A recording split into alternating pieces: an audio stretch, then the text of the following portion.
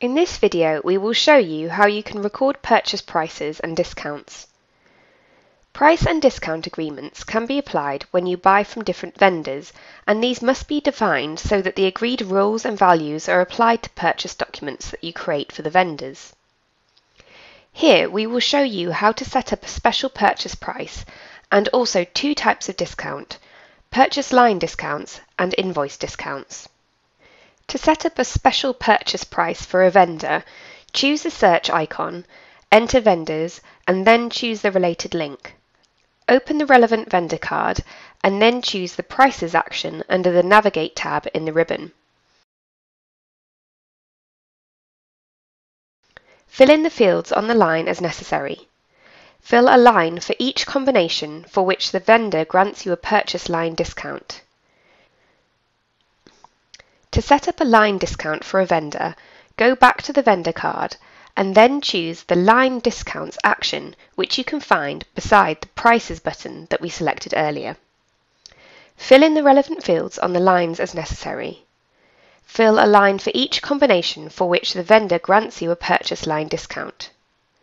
Next, we will set up an invoice discount for a vendor. When your vendors have informed you which invoice discounts they grant, Enter the invoice discount code on the vendor cards and set up the terms for each code. Back in the vendor card, in the Invoice Discount Code field, select a code for the relevant invoice discount terms to use to calculate invoice discounts for the vendor. Invoice discount codes are represented by existing vendor cards. This enables you to quickly assign invoice discount terms to vendors by picking the name of another vendor who will have the same terms. Proceed to set up the new purchase invoice discount terms. Choose the Invoice Discounts action. In the Currency Code field, enter the code for a currency that the invoice discount terms on the line applies to. In the Minimum Amount field, enter the minimum amount that an invoice must have to be eligible for the discount.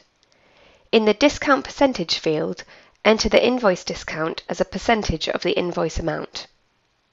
You can add as many invoice discounts as you would like.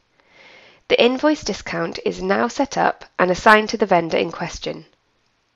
When you select the vendor code in the Invoice Discount Code field on other vendor cards, the same invoice discount is assigned to those vendors.